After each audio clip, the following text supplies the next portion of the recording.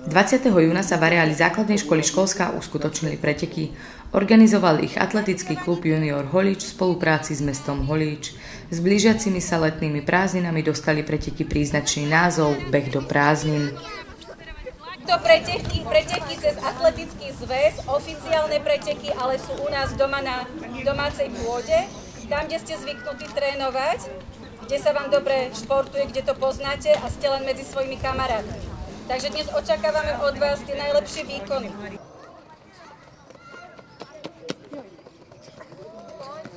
Pretekov sa zúčastnilo takmer 60 detí. Museli si poradiť s atletickým trojbojom. Behali 60 metrov, 60 metrov cez prekážky a napokon skákali z miesta.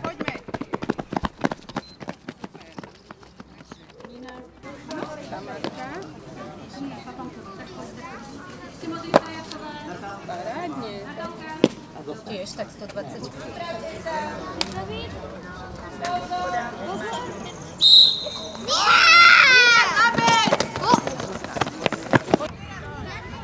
Deti súťažili v dvoch kategóriách, ktoré sa odvíjali podľa roku narodenia.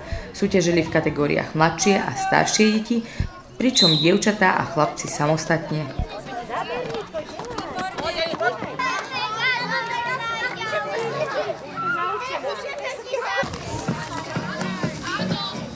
Po dokončení všetkých disciplín nasledovalo vyhodnotenie. V každej kategórii sa umiestnilo 5 detí. V kategórii starších dievčatá získala prvenstvo Julia Chokoláčková. V kategórii starší chlapci skončil na prvom mieste Timotej Holý.